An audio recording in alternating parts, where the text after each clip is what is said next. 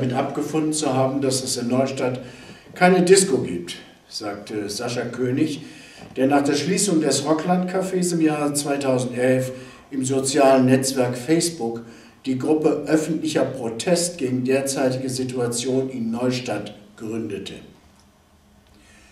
Nach der Schließung der Musikwerkstatt und des Rockland-Cafés gibt es fast keinen Treffpunkt für Neustadts Nachwuchs mehr. Dazu Waltraud Blar, Fraktionsvorsitzende der Grünen im Stadtrat. Ich zitiere. Der Einsatz der Stadt lässt zu wünschen übrig und es entsteht der Eindruck, die Jugend sei unerwünscht. Das ist natürlich harter Tobak. Es ist mir unverständlich, dass kein Ersatz für die Musikwerkstatt zu finden sein soll. Auch eine Bühne für Konzerte wäre ein schönes Angebot. Ja, das dazu, äh, das sind also alles Zitate aus der Rheinpfalz. Und äh, wir wollen heute uns mal mit dem Rockland Café beschäftigen. Und bei mir am Tisch sitzen heute Rita Romano, ehemalige Betreiberin des Hard Rock Cafés, des Rockland Cafés und jetzt äh, die Pächterin des Marstall. Andrea Mohr, Autorin und Kennerin der Neustadter Szene, wenn ich das mal so sagen darf. Auch. Herzlich willkommen. Stammkundin. Genau. Und Cornelia Wolf. Cornelia Wolf, ebenfalls ehemalige Stammkundin im Brockland Café. Und wir wollen uns heute mal darüber unterhalten, was ist denn da eigentlich passiert im Jahre 2011? Wie aus heiterem Himmel machen plötzlich Szene, Gaststätten, Szene äh, für die Events in, in, in, in, äh, in der Musikszene für Jugendliche, natürlich auch für Jugendliche über 18, machen plötzlich dicht. Was ist da passiert? Ist das Gott gewollt? Was ist da ich frage einfach mal die Kennerin der Szene. Andrea, was ist da passiert? Ich habe keine Ahnung. Ähm, außer Unterstellungen insofern nein, aber ich habe es beobachtet quer durch Neustadt, seitdem ich zurück bin. Im Jahre, ich war 20 Jahre weg, ich bin hier geboren in Hambach und ähm, habe hier mein Abitur gemacht etc kam zurück 2005. Es gab das Rockland zum Beispiel, unter anderem. Es gab die Musikwerkstatt, es gab eine Vielfalt auch. Es gab, ich bin bei Neustadt gegen Fremdenhass, es gab die kulturelle Vielfalt, es gab Festivals dadurch und Musikveranstaltungen. Und es gab alles Mögliche und man konnte sich aussuchen. Nun, ich war keine 20 mehr, habe ich mir dies oder jenes nicht ausgesucht. Aber plötzlich ist sie geschwunden. Also ich muss nur sagen, ähm, eines nach dem anderen macht dazu, auch das Madison, was ich von früher kannte, das war meine Jugend. Madison natürlich ganz andere, lag schon lange brach, sicher. Äh, das Aqua auch und äh, liegt zwar nicht brach, aber völlig unterbelegt im Vergleich zu früher. Und ich habe mich schon gefragt, was ist denn da passiert, schon 2005. Nun im Rockland war noch sehr viel los. Da fanden auch noch Konzerte statt. Da fanden noch, äh, war wirklich auch noch Szenetreff. Äh, ich ging mit Freunden hin und man hat sich getroffen und es war die Musik, die uns entsprach. Ich meine, Rock ist auch noch natürlich so ein bisschen auch meine Zeit, aber ähm, alles in allem scheint die Subkultur nenne ich es mal. Ich will es nicht Underground nennen, weil ich habe lange in Berlin und so weiter gelebt. Da gibt es Underground in Neustadt, glaube ich, wurde Underground noch nie geliebt, äh, geduldet. Aber nicht einmal Subkultur wird hier geduldet. Und es ist nun mal die Vielfalt der Kulturen, die Kultur ausmacht und eine Stadt. Insofern, ähm, durch die Eliminierung der Subkultur, nicht Mainstream, Also alles, was nicht Mainstream ist. Und hier rede ich auch über Galerien, hier rede ich über Lesungen, hier rede ich über Geschäfte, hier rede ich über alles. Was in Neustadt stattfindet, findet nur in eine Richtung statt. Von der Stadt, dem Kunstverein und so weiter protegiert und geduldet. Und es ist ihnen lieber, zum Beispiel beim ersten, wie hieß es, Kulturfestival Neustadts letztes Jahr, stand in der Rheinpfalz, es werden vorwiegend einheimische Künstler protegiert und unterstützt ne? und dargestellt. Nein, es wurden von außerhalb Künstler engagiert, die niemals in Neustadt leben, lebten oder vielleicht drei Jahre oder sieben, glaube ich, wenn Wiegald Boning hier lebten, ihre ersten sieben Jahre ihres Lebens. Aber wir haben sehr viele Künstler in Neustadt auf allen Gebieten, sei es DJ, sei es wie im Rockland auftraten, äh, Musiker, sei es äh, Moderatoren, eh, ganz gleich. Oder Schriftsteller wie ich, die hier normalerweise ansässig sind, zumindest die meiste Zeit ihres Lebens. Und die wurden überhaupt nicht, die bekamen nicht einen Auftritt oder eine Bühne. Und hier auch wieder, Rita gab uns im Marstall eine Bühne. Und ähm, wir, ein paar Künstler der Sub- Kultur, nenne ich es mal, durften hier einen Tag feiern und wer immer vorbeilief, das konnte uns keiner verbieten. Insofern hat sie immer protegiert, was Neustadt im Grunde unterbunden hat. Gut, vielen Dank, Andrea, äh, für diesen Überblick über Neustadts Kultur bzw. Subkultur oder Nichtkultur, kann man sie ja auch nennen. Wenn die Stadt es als Nichtkultur bezeichnet. Okay. Ähm, Jetzt mal, kommen wir mal zurück äh, zum Rockland Café. Die Geschichte von Rita Romano ist ja eine Geschichte, von der ich von manchen Leuten höre, naja, die hat alles falsch gemacht, was man nur falsch machen konnte. Aus berufenem Munde angeblich. So, jetzt frage ich mich natürlich, ich will nichts bewerten und auch nichts kommentieren, wenn jemand 1995 das Hardrock Café aufmacht, Hardrock nach dem Ortsteil Hard, dann äh, 2002 war es, äh, ins Rockland Café äh, umzieht, weil das äh, Hardrock Café äh, von Schimmelpilz befallen war und dann ins Rockland Café äh, äh, umzieht und diese beiden Cafés, die ja ein Szenetreff äh, in Neustadt waren, quasi 13 bis 15, zwischen 13 und 15 Jahren betreibt, da kann man ja nicht davon reden, denke ich, dass er alles falsch gemacht hat. Irgendwas muss er ja richtig gemacht haben. Äh, denn wenn man heute eine Kneipe aufmacht und die nach zwei Jahren wieder zu ist, dann hat man alles falsch gemacht. Ist schon klar. Falscher Standort, falsche Gäste, falsches Image oder was auch immer, vielfältig. Aber Rita Romano hat das Ganze circa 15 Jahre richtig gemacht. Sie war erfolgreich. Und wir haben hier Cornelia Wolf.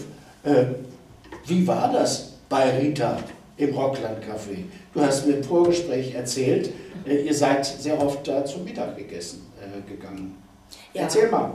Also man kann sagen, dass das Rockland Café wirklich gut besucht war. Also ich sag mal mittags durchwachsen, aber man hat äh, Leute von allen Schichten getroffen. Es waren jüngere Leute da, es waren Leute von der Stadt da, von Banken da. Es war ein hervorragendes Konzept, was so das Essen anbetroffen hat. Man konnte von Burgern über Potatoes, über American Bread alles bekommen, auch mal ein bisschen was anderes, als es sonst so gibt.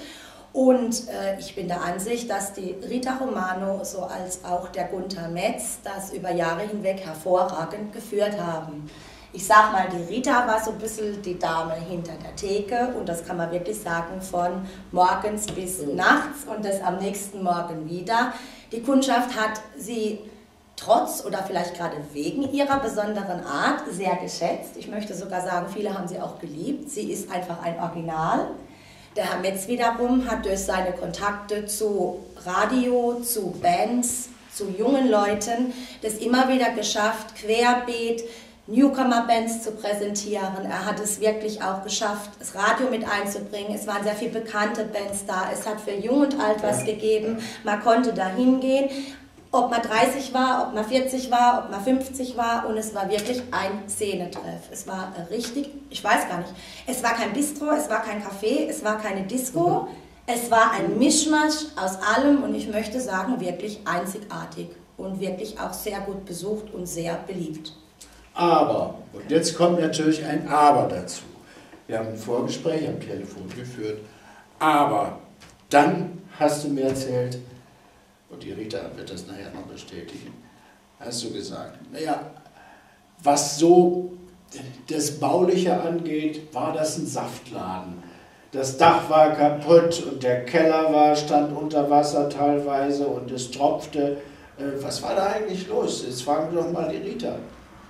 Also ist es von Anfang an so gewesen? Oder? Wir haben 2001 das Objekt gemietet. Das war sehr baufällig. Wir haben sehr viel Geld investiert.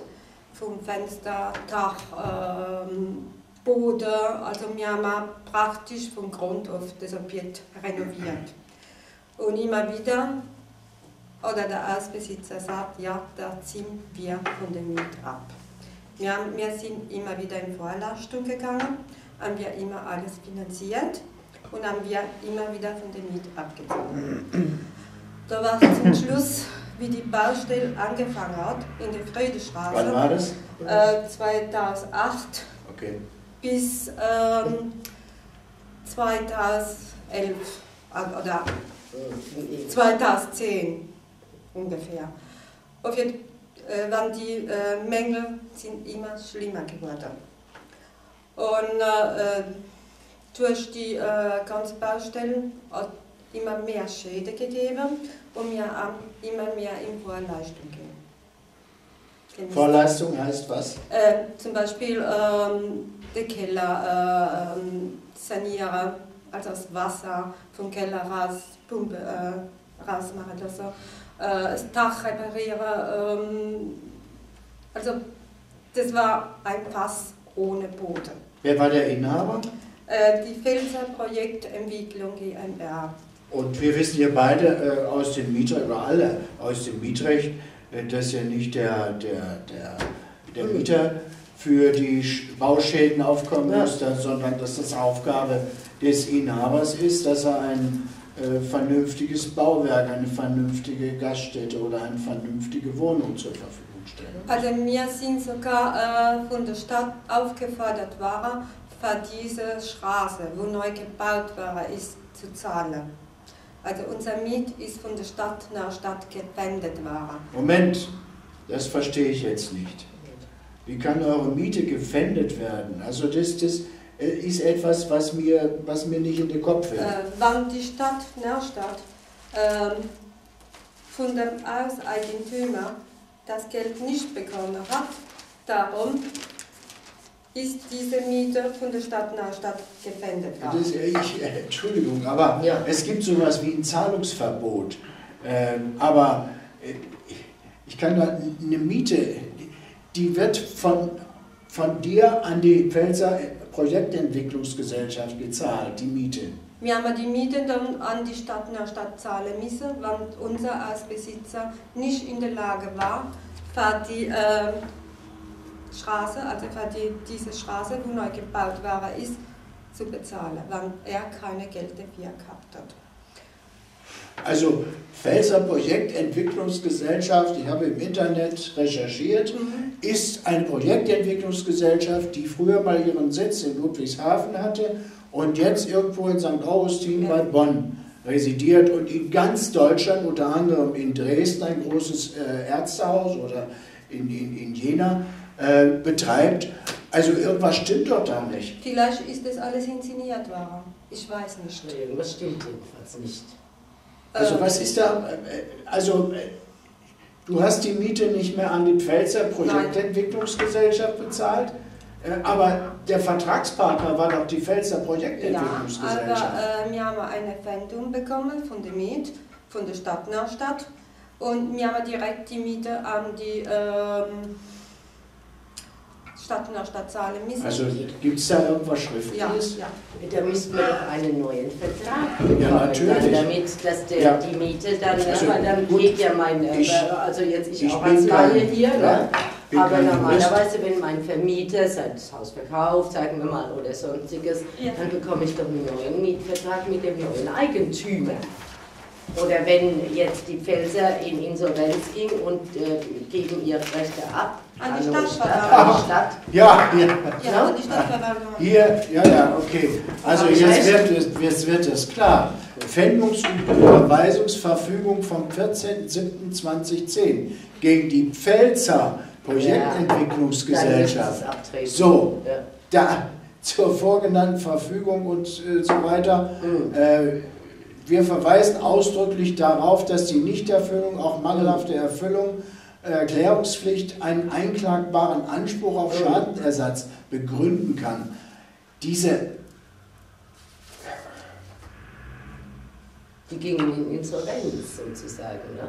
ja, die sind nicht in Insolvenz. Nee. Das ist eine große Pfälzer Ent- Projektentwicklungsgesellschaft, Ja. äh, äh, steht im Internet und ist äh, Ach so. eigentlich in ganz Deutschland äh, tätig. Ja, die haben das nicht bezahlt, vermute ich, das, was die Stadt gefordert hat. Ach so.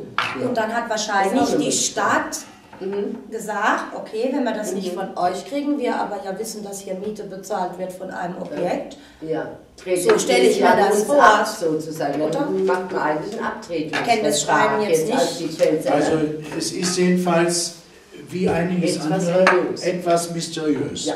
Das muss ich schon sagen. So, jetzt kommen wir mal zum, zu, dem Jahr 2011. Von 2008 bis 2011 war die Baustelle. Ja. Plötzlich, 2010 war die Baustelle fast beendet. okay, Der Oder, der, äh, äh, unser Nachbar von der Mode aus, Jakob, der Stahler, mich ständig angefragt. Äh, er wollte immer wieder wissen, wer unser Hausbesitzer ist. Er Herr Stahler, ähm, wieso interessiert sich Ihnen das?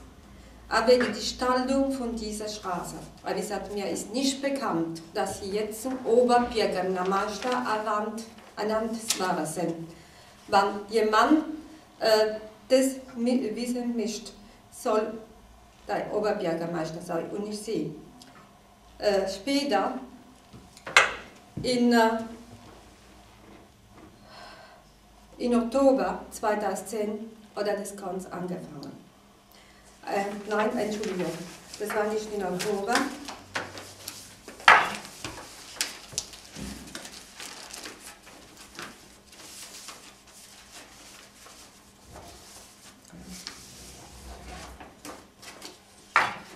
Das war ähm, in ähm,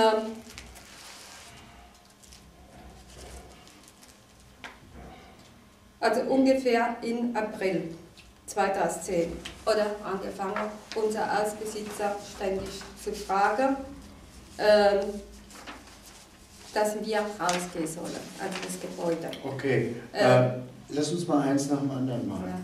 Ja. Äh, also der potenzielle Käufer, der Ja. es kaufen wollte, Ja. ist also zu dir gekommen und hat gefragt, wer ist der Besitzer. Das ist ja Blödsinn, da muss er nicht fragen, äh, sondern da kann er zum Grundbuchamt gehen äh, oder bei der Stadtverwaltung, die hätten es auch gewusst, weil die haben ja schon gefändet. Also was soll der Quatsch? Aber ich habe nicht So. gewusst, Also das ist also etwas, wo ich sage, das könnte etwas mit Psychologie zu tun haben. Äh, Jetzt will ich mal jemanden einschüchtern. Ja. Ich habe jetzt Ja.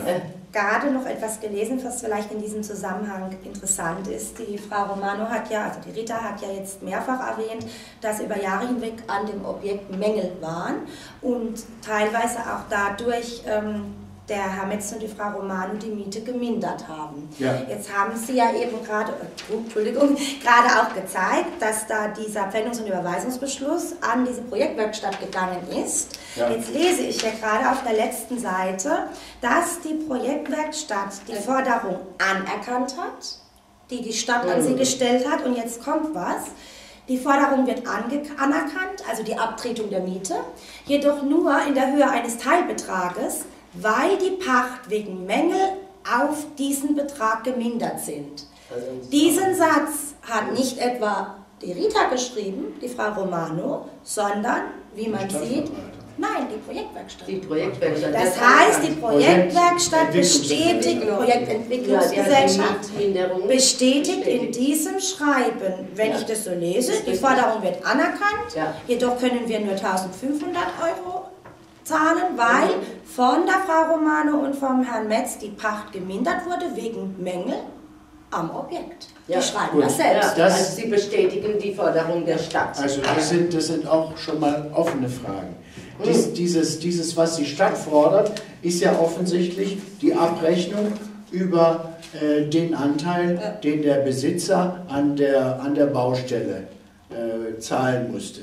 Der Jeder Besitzer. Besitzer muss ja nach, nach der Größe des Grundstücks muss er ja bezahlen. Das ist, äh, Aber also, der Besitzer. ja, der ist also sofort abgerechnet worden. Hm.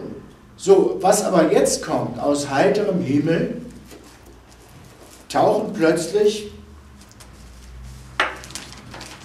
ich muss das mal als Fakt hinnehmen, 108.000 Euro, 108.000 Euro Mietschulden auf. Plötzlich sind die da. Ähm, mal eine Frage. Ähm, Andrea, wenn du mit deiner Miete drei Monate im Rückstand bist, was, was passiert dann? Eine fristlose Kündigung nehme ich mal So an, außer ich habe einen Vermieter, der sehr kulant ist und der würde schon nach dem ersten Monat eigentlich äh, mich abmahnen und würde sagen, deine Miete ist nicht eingegangen, schau Okay. mal, wenn nicht, muss ich Ja. dich fristlos. Aber ansonsten eine fristlose Kündigung und nicht erst nach drei Monaten, nein. Also es heißt unter anderem aus der Quelle der Stadtverwaltung, es sei ja vielfach gemahnt worden. Aha. Ist das so? Nein. Also wir haben entweder eine Mahnung von der Hausbesitzer bekommen oder ähm, überhaupt irgendwas.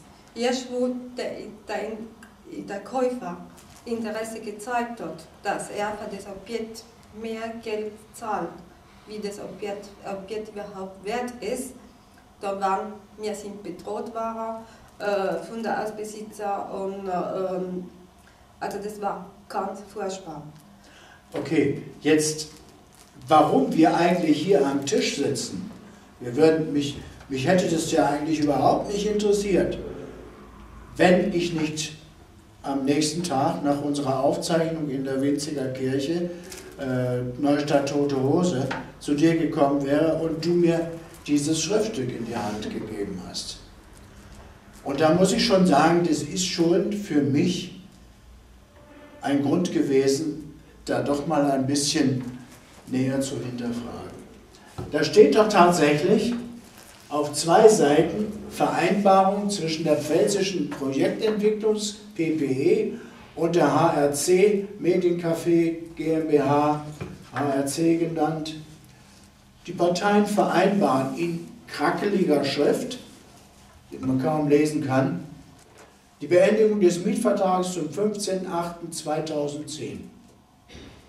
So, die HRC zahlt auf den von PPE geltend gemachten Mietrückstand, und jetzt kommt's, in Höhe von 108.545 Euro, einen Betrag in Höhe von 10.000 Euro, zahlbar in zwei Raten und so weiter und so weiter, zum 31.12. und zum 15.08. So, und mit Zahlung des Betrages äh, sind all sämtliche gegenseitigen Verpflichtungen erledigt. Toll. Da verzichtet eine pfälzische Entwicklung, Projektentwicklungsgesellschaft, die nicht in der Lage ist, die Baukosten, den Baukostenanteil der Stadt zu bezahlen und gefändet wird, verzichtet einfach so auf 100 und 100.000 Euro. Wie ist das möglich, frage ich. Die Zuschauer mögen das selbst entscheiden. Wie ist es möglich? Kann das sich Ich gar einer von euch erklären? steuerlich erklären wollen. Okay.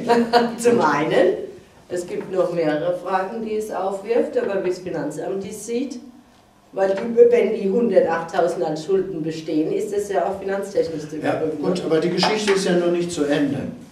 Sondern die Rita, die Rita hat die 10.000 Euro vermutlich nicht bezahlt. Nein, das war meine Kaution, wo ich von der Filzer Projektentwicklung GmbH zurückbekommen hätte sollen. Gut. Die haben sie einbehalten. Die Pachtkaution. Ja. Genau. ja gut, vor Gericht nennt man diesen Vergleich. Ja. Aber dies ist ja kein gerichtlicher Beschluss. Nein, überhaupt ne? nicht. Das, ja, Moment, das ist von Hand geschrieben. Genau, nee, ich sage nur, Cornelia war dabei, ja. als dieses Schriftstück zustande kam. Vielleicht ah, kannst ja. du mal erzählen, wie das zustande kam. Ja, also ich war dabei, wie dieses, wie diese Schrift zustande kam, aber nicht, wie es unterschrieben wurde, weil ich zwischendrin noch einen Arzttermin wahrnehmen musste. Okay. Es zog sich sehr, sehr lange, das Gespräch. Ich, es ist jetzt ja auch schon länger her. Also wie war die Atmosphäre? Sehr angespannt. Also die beiden Herren, die da waren, haben keinen Zweifel daran gelassen, dass sie äh, entweder das, was sie jetzt unterschrieben haben wollen, heute gleich mitnehmen weil mein Vorschlag war gewesen, als ich gesehen habe, dass die angefangen haben, das auf so ein Blatt zu schreiben, ob denn keiner einen Laptop dabei hätte oder ob man das nicht aufnehmen könnte, zu Hause ins Reine schreiben und dann mailen, damit man es in Ruhe nochmal durchlesen kann. Aber sie sagten dann, die Antwort wäre so lange gewesen und die Zeit würde auch drängen und sie würden entweder heute mit dieser Unterschrift nach Hause gehen oder entsprechend eben agieren was dann für Rita und Gunther sehr böse ausgehen würde. Nun bin ich jetzt so sehr auch in dem ganzen Vorfeld nicht involviert gewesen. Ich saß eigentlich nur dabei, weil sowohl die Rita als auch der Gunther gesagt haben, naja, es ist vielleicht ganz gut, wenn eine neutrale Person, die sich ein bisschen ja, auskennt mit, ähm, mit Schrift und mit Zinsberechnung oder so, also einfach nur, um da ein bisschen Ruhe reinzubringen. Ja, äh, schlussendlich haben die beiden Herren immer von Mietrückständen geredet. Rita und Gunda wiederum haben immer wieder betont, ja Moment, das stimmt doch gar nicht. Wir haben ja die Miete gemindert, die Pacht gemindert, das haben wir auch schriftlich geltend gemacht. Da gab es auch Schriftstücke, die habe ich damals gesehen. Hier steht es auch nochmal. Und hier steht es ja im Prinzip auch nochmal. Ja. Also sprich, die redeten immer von Mietrückständen und Rita und Gunda immer, nicht stimmt ja gar nicht, wir haben ja nur gemindert, weil wir alles selber bezahlen müssten, was da mit Wasser und so weiter war. Nun ja, schlussendlich haben die mehr oder weniger recht deutlich klar gemacht, dass das eigentlich schon eine beschlossene Sache sei. Ich kann nur zitieren, also eine beschlossene Sache sei, dass Rita und Gunther das Rockland Café sowieso nicht mehr lange betreiben würden. Da würden schon andere Instanzen für sorgen. Welche wurden nicht genannt. Ich weiß nicht, was sie gemeint haben. Das möge sich nun auch jeder selber denken. Schlussendlich können sie doch zufrieden sein, wenn man das jetzt alles so lösen würde, denn rausfliegen würden sie eh, weil keiner sie mehr da haben wolle und weil man an übergeordneter Stelle schon dafür sorgen würde, dass das Rockland Café geräumt würde. So. Gut, so danke. Das, das dazu zu dem, zu dem Thema äh, äh, diese, diese Vereinbarung. Dann ging es vors Gericht. So, zu dieser Vereinbarung möchte ich noch was dazu sagen. Ich war sehr krank. Ich habe eine okay, infantile ja. äh, Grippe gehabt. Mein Mann oder mir selber Medikamente besorgt. Und ich wollte also den Termin nicht wahrnehmen. Ich bin aber von der Ausbesitzer bedroht worden. Wenn ich diesen Termin nicht wahrnehme, wird das Rockland Café sofort geschlossen. Wenn ähm, die Stadt und die Verwaltung ähm, einfach ähm, das weghaben wollen, wenn die dulden nicht, dass in dieser Stadt eine äh, Laden für junge Leute weiter existieren wird. Wenn, äh, die wollen lieber ein Modegeschäft, wo leis und über Tag die Straße frequentiert wird und danach roh angehalten wird. Und, äh, äh, und das ist schon eine ausgemachte Sache. Und wenn ich äh, den Vertrag nicht unterschreibe, dann wird morgen äh, wegen der Brandschutzverordnung äh, oder Hygienevorschrift oder ähm, wegen Schwarzarbeiter und die werden sich irgendwas einfallen. Also, äh, das mal einhaken, nach dem, nach dem Motto, äh, wir werden suchen und wir werden ja, sicher was finden. finden ja. Also, also. Aber jetzt kommen wir zum Gericht, Landgericht. Und äh, ähm, so wie gesagt, die Frau Wolf war weg Und wie die Frau Wolf dann weggegangen ist, hat dann mein Mann zu mir gesagt, ich soll den Vertrag unterschreiben. Er schafft bei der, selber bei der Verwaltung und er schafft bei der Gemeinde Naslock. Er kennt sich aus mit Verträgen und äh, ich kann ruhig das unterschreiben. Wenn wir gehen morgen zum Rechtsanwalt und wenn wir zum Rechtsanwalt gehen, können wir das rückgängig machen. Mein Mann selbst hat genau gewusst, dass ich nicht mehr den Vertrag rückgängig machen kann. Das glaube ich aber.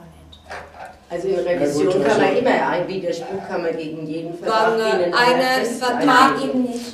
Vertrag zwischen zwei äh, GmbH, also mein, äh, mein, ähm, Dachte ich auch. ein Vertrag zwischen zwei GmbH kann man nicht mehr rückgängig machen.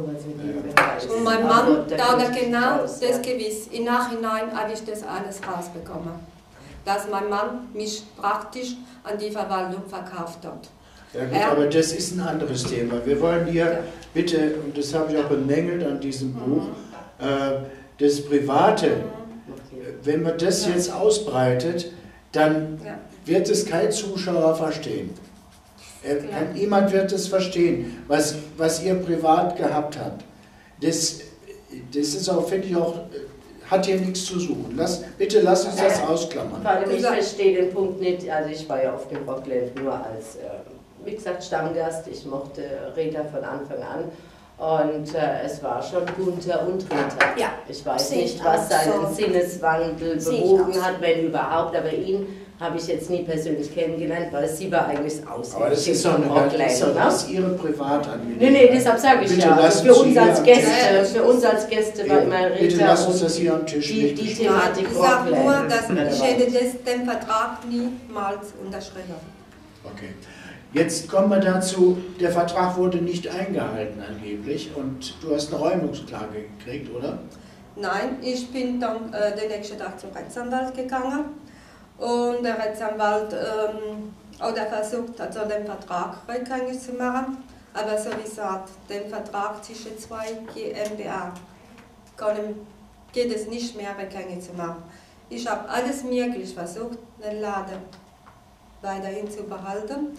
Da waren die äh, vom Brandschutz oder zu uns also den Laden untersuchen gelassen, weil wir angeblich Probleme gehabt haben wegen Notausgang. Und äh, ähm, so wie gesagt, ich habe jeden Tag, wo ich in den Laden gegangen bin, Angst gehabt, was ist eigentlich schon wieder? Ja, wer steht wieder da und will mich kontrollieren? Also, diese Schreckgespenst äh, Brandschutz höre ich immer wieder. Da wird, es gibt ja die Landesbauordnung, äh, in der Landesbauordnung, weil äh, Brandschutz ist, ist Ländersache. Da gibt es die Landesbauordnung und in der Landesbauordnung steht da ganz genau drin, was an, an, Thema, zum Thema Brandschutz zu tun ist. Veranstaltungsstätten sind es. So, und eine Veranstaltungsstätte kann nicht öffnen oder die, jemals einen Gast reinlassen, bevor der nicht freigegeben ist. So, da wird also jahrelang, äh, werden ja wahrscheinlich dann beide Augen zugedrückt, weil das mit, mit, mit dem Brandschutz, hier steht es auch, die Landesbauordnung das, äh, und so weiter. Und, ja. So, da steht also dann äh, im Raum plötzlich, und es war beim, beim, äh, bei der Musikwerkstatt offensichtlich auch so, Nach dem Brand. plötzlich stimmt der Brandschutz nicht mehr. Zugangswege überall am Herrenhof auch. Da frage ich mich, wieso wird das erst genehmigt und hinterher wieder rückgängig gemacht? Aber gut, das ist, äh, das ist eine Bewertung, die, die mögen Juristen oder von mir aus wer, die finden ja immer einen Weg, um, um, um das äh, wieder richtig zu stellen. Keine Ahnung. Aber gut, ich will das jetzt hier. Hier sind also dauernd, ich lese hier nur immer Verstöße, Verstöße, Verstöße. Da frage ich mich, haben die fünf Jahre überhaupt nichts gemacht? Ist Sind die jemals, ist jemals äh, von der Feuerwehr jemand gekommen? und Nein. Und geguckt? warum Also- kamen sie plötzlich? Also im Jahr von 2002 bis ähm, das war mit den Käufer, äh, wo das Objekt kaufen wollte, überhaupt entweder mit der Verwaltung oder mit der Stadt keinerlei Probleme gehabt. Okay, kommen wir zurück zu, zu der Gerichtsakt, sagt dann Herr was dazu. Kommen wir jetzt zu, de, zu dem Gerichts, äh, zu dem Prozess. Was ist da abgelaufen? Du hast den Prozess verloren. Also das war von vornherein klar, dass ich den Prozess verliere. Weil, so wie gesagt, ich habe den Vertrag unterschrieben. Ja. Damit ist es Und, und so wie gesagt, wenn mein Mann das nicht zu mir gesagt hätte, ich hätte niemals das gemacht. Nie. Und, äh, ähm, der Hausbesitzer oder immer wieder sagt, die Stadt will keine junge Leute hier. Die Stadt will nur ähm, Geschäfte, wo über Tag frequentiert werden. Wenn ich jetzt einen Kaffee gehabt hätte, für ältere Menschen, mir so tanzt die, also der Laden der jetzt noch existieren. Hat das der Herr Wilverscheid gesagt? Bitte? Oder wer? Der Herr Wilverscheid Ja. als Geschäftsführer Ja, der pfälzischen Projekte. Und, ja, ich nenne die Ross und Reiter. Und, und, ja. die Stadt, Bitte. und die Stadt, die würde uns weiter unterstützen. Aber wir haben leider den verkehrten Menschen in unser Laden gehabt. Und die waren junge, dynamische, äh, wo Musik begeistert waren. Wir haben auch viel ähm, Auftrittmöglichkeit an junge Menschen geboten. Und ist klar, in dem Moment ist laut. Und es ist Nachtleben. Und äh, das Nachtleben in der Stadt Weinstraße. Welches Nacht? Gute Idee, ja. Ja, mehr hat er ja zu der Subkultur, zu der Das muss, Subkultur schon etwas das muss in dem. Moment ausgerottet werden. Wenn, so wie gesagt, wir haben das Mangi Jambi äh, gehabt in der Stadt. Wir haben, ähm, so wie gesagt, die ganze Stadt, wie ich 95 daher gekommen bin, das war eine richtige tolle Stadt. Das stimmt, ja. Ich war ja Und, auch äh, ein junger ja, Mensch. wesentlich ne? hatten Brot. eine Und äh, Conny, ne? ich habe mich wohl gefühlt, richtig wohl. Und jetzt, wie das, also seit 2010, Ja.